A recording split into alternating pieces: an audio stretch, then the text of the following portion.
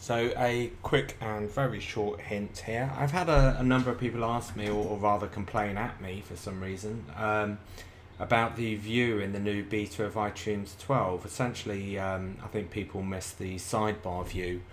Um, what's interesting, of course, is you won't find it in any of the menus now. Um, Apple seems to be determined to get rid of it for some reason. I don't like that. I much prefer it with the uh, sidebar view, you know, the older version.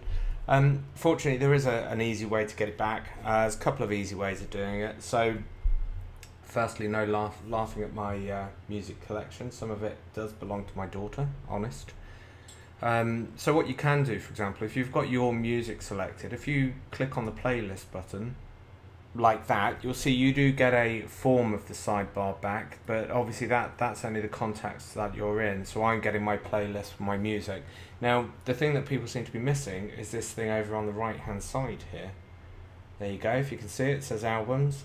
What you can do is if you select that, you can change it to songs. There we go. And what do you get? You get your lovely side view back that you wanted from earlier. So um, there is a way to do it, it's just a little bit hidden. Anyway, I hope you found that useful.